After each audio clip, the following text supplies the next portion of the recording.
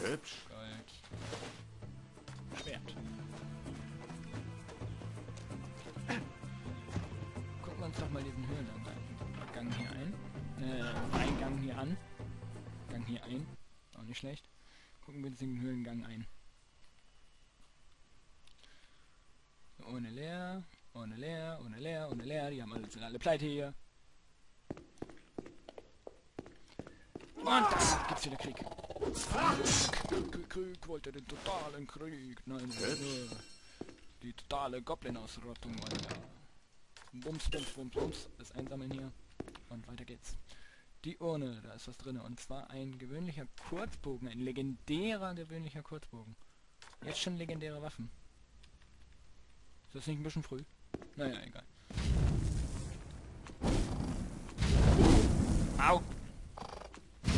Weh, du Arsch. So. Bams. Bams in your face. Und du wirst wiederbelebt. Das will ich gar nicht, dass du wiederbelebt bist. Du scheiß Alter. Lass ihn gefälligst tot. Ein weiterer Gegenstand für meine. Sehr Hübsch. Kraut. Komische Krautgemische, woraus wir uns dann später Hanfblättchen drehen können oder was weiß ich was wir uns daraus machen würden. Schön Kräuterkuchen backen, was weiß ich. Drauf geschissen. Bums. Jawohl! Goblin. Und der Goblin ist tot. Perfekto. Perfektamente. Was haben wir denn da? Noch ein Goblin-Viech. Und wieder tot.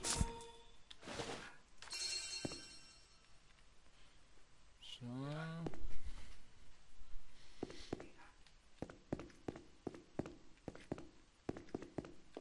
Und hier haben wir noch eine Urne. Da ist was drin. Da ist Saft drin. Mm, lecker. Saft. Lecker, lecker. Ich will gar nicht wissen, was für ein Saft. Naja, egal. Lässt sich nicht bewegen. Geht nicht auf. Da brauchen wir nicht rein. Hops, hops, hops, die Pops. Hops, hops, hops, die Pops. Super.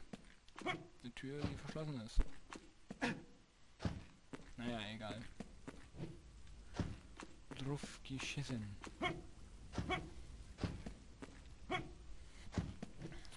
Oder ganz verbal ausgedrückt, drauf gekackt.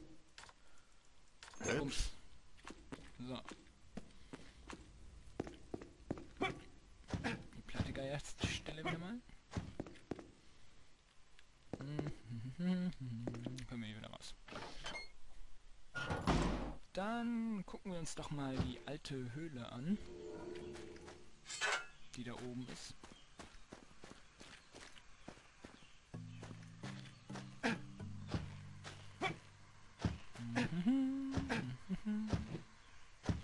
Drachentöter bei der Arbeit. Speichern. Stufe 7 mittlerweile schon. Das geht schnell.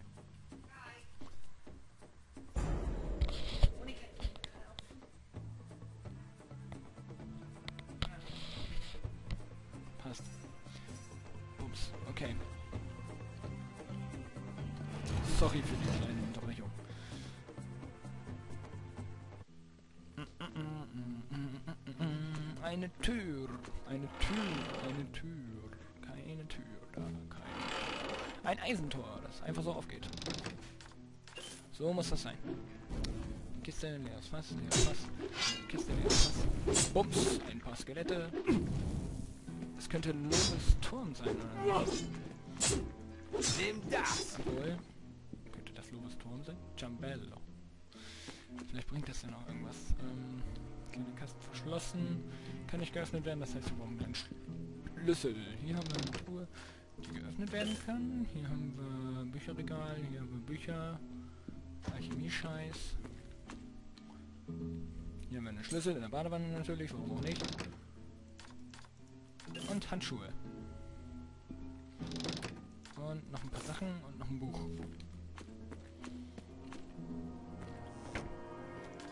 Mondstein. Alles klar.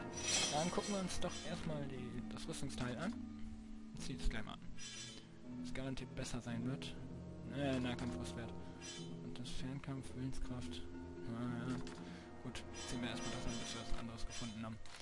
So, und jetzt gucken wir uns doch mal das äh, Geschichte des Verdammten Teil 1. Die menschliche Güte hielt deine Hand zurück. Schließlich war das nur ein Kind, das da auf dem blutigen Altar lag. Es ahnte nichts von dem zögernden Dolch, der kurz davor war, sich in seinem Herz zu bohren. Ja, es war Mitleid, das dich innehalten ließ. Doch, mein Freund, wenn du gewusst hättest, was alles voll vorfallen würde, wärst du dann in der Lage gewesen, die Klinge niederzustoßen. Wäre dein Herz so kalt und hart gewesen, so sprach Zalandor bei der Beerdigung des Göttlichen. Und tatsächlich war das der Beginn der Geschichte des verfluchten Dami Damian. Der schwarze Ring verpflanzte die Essenz des Verdammten in einen kleinen menschlichen Körper, damit dieser Teufel erneut auf die Welt gelangen und alles und jeden erobern. Alles und jeden erobern könnte. Auch nette Wortwahl. Der Unhold, der diesen schrecklichen Plan ausgeheckt hatte, wurde kurz nach der Vollendung des Rituals durch den Göttlichen niedergestreckt. Der schwarze Ring hätte da schon ausgelöscht werden können, aber es sollte nicht sein. Der göttliche Teil unseres großen Helden konnte das. Konnte das? Konnte das? Wir wollen umblättern? Wir wollen stylisch umblättern. Jetzt stelle ich nichts an. Uralte Böse ausschalten, aber der, Mensch, der menschliche Teil in ihm... Oh! Komm her hier, du Seitenblatt. Aber der menschliche Teil in ihm brachte es nicht übers Herz, ein neugeborenes Kind zu töten. Interessant. Also das heißt, deswegen ist Damian noch am Leben. Ciambello drücke, um kurz zu benutzen. Ein Ciambello benutzen. Wie soll ich das benutzen? Naja, egal.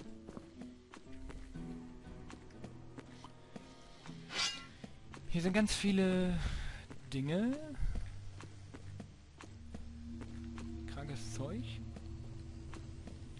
Richtig krankes Zeug, da ist jemand. Das Lovis? Hey, wer seid ihr? Ich Na, meine, Berius. willkommen. Ich vergebt mir. Hier tauchen nicht oft Besucher auf. Tut mir leid, ich wollte euch nicht erschrecken. Oh, ist schon in Ordnung. Ein bisschen Gesellschaft schadet nicht. Fortfahren. Ich bin Naberius, ein äh, angehender Magier, der sich auf die Wiedererweckung der Toten spezialisiert hat. Also ein Nekromant. Nun ja, so könnte man es auch nennen. Ich persönlich mag diese Bezeichnung jedoch nicht allzu sehr. Die Nekromantie wird missverstanden und ist nicht nur ein Werkzeug verrückter Zauberer. Okay. Ich praktiziere diese Kunst auf eine Art und Weise, dass Abenteurer wie ihr davon profitieren können. Ich meine, jeder kann doch einen Gefährten gut gebrauchen, oder? Erklärt mir, was Nekromantie mit Gefährten zu tun hat. Ich meinte damit, dass sich die Lehre der Nekromantie, der ich mich verschrieben habe, mit der Erschaffung von Kreaturen befasst. Wir nehmen die Gliedmaßen verschiedener toter Wesen und fügen sie zusammen, um dadurch den perfekten Gefährten zu erschaffen. Klingt gut, wo muss ich unterschreiben? Natürlich gibt es da, wie immer, ein kleines Problem. Ich kann die von mir erschaffenen Kreaturen einfach nicht unter Kontrolle halten. Sie sind wild und unberechenbar. Vier Experimente sind mir bis jetzt geglückt, aber alle vier Kreaturen sind irgendwohin in Richtung Süden gelaufen. Ich weiß einfach nicht, was ich falsch mache oder wo diese ungehorsamen Kreaturen hinlaufen. Solltet ihr etwas herausfinden, lasst es mich wissen, ja? Lasst uns eine Kreatur erschaffen. Ich zeige euch, wie ich arbeite, aber ich werde diese Kreatur nicht freilassen. Sie würde auch nur weglaufen. Okay.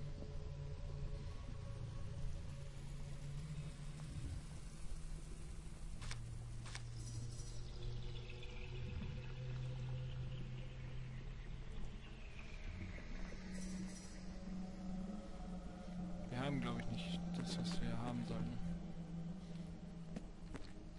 Wie finden wir hier ein paar Sachen? Na egal, reden wir. Seid gegrüßt, Drachentöter. R- Runkmann hat mir erzählt, dass ihr viel über Lovis wisst. Hat er das? Ich weiß nicht wirklich viel. Sein Leben war geheimnisumwoben und er starb schon vor langer Zeit. Ihr habt sicherlich von seinen Fähigkeiten auf dem Schlachtfeld gehört. Das ist allgemein bekannt. Ich weiß jedoch ein bisschen mehr.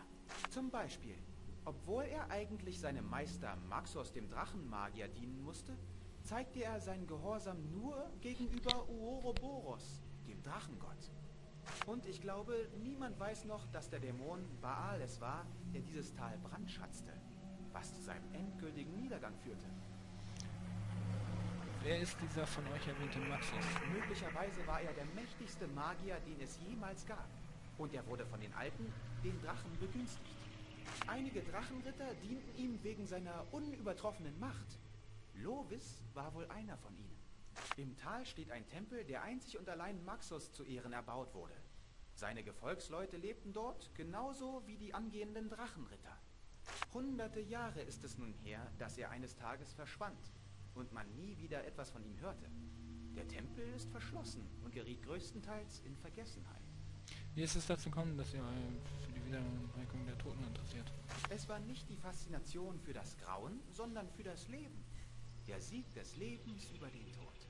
Erst nach dem Studium der Nekromantie wurde mir klar, dass die meisten Interessierten dieses Wissen nur aus krankem Eigeninteresse anwenden, wofür es so berüchtigt ist.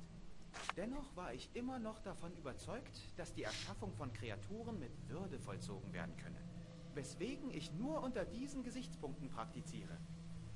Ihr wisst, wo ihr mich findet. Ja. Gut, dann ist es ja nicht weiter schlimm.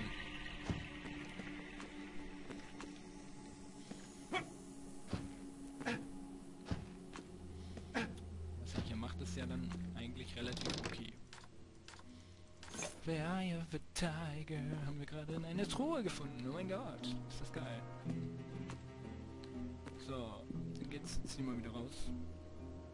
Wir haben ja sowieso nicht genug Materialien im Moment, um etwas erschaffen zu können. Von daher. Ins Trümmertal.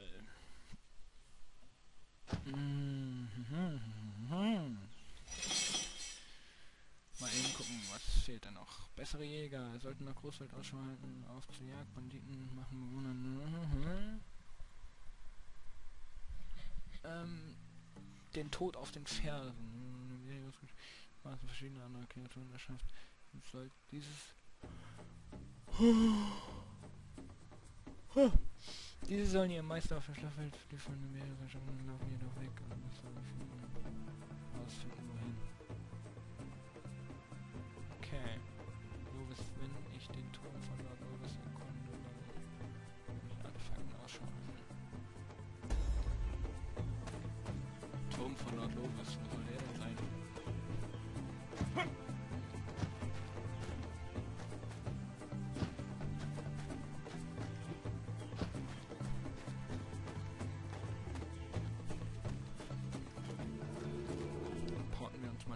uns mal zurück ins Dorf.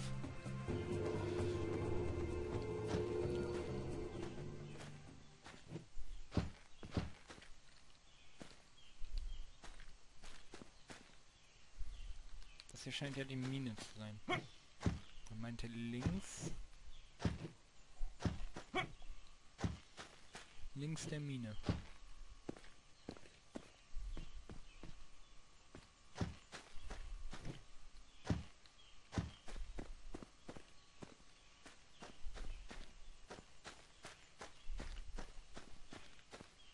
Äh, nö.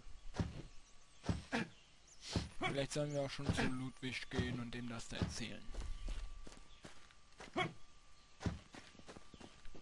kann natürlich auch gut sein.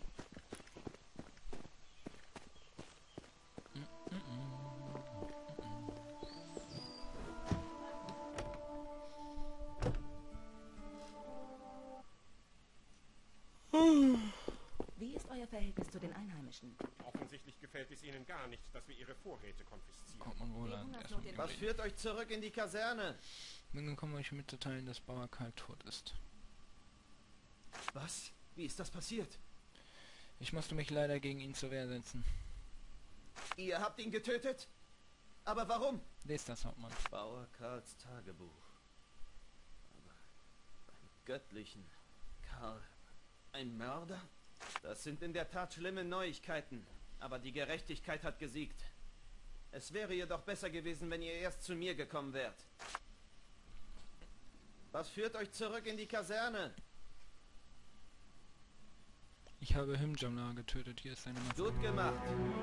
Hier ist eure Belohnung, Drachentür. Denkt dran, dass es mehr Geld gibt, wenn ihr die anderen Banditen ebenfalls erlegt.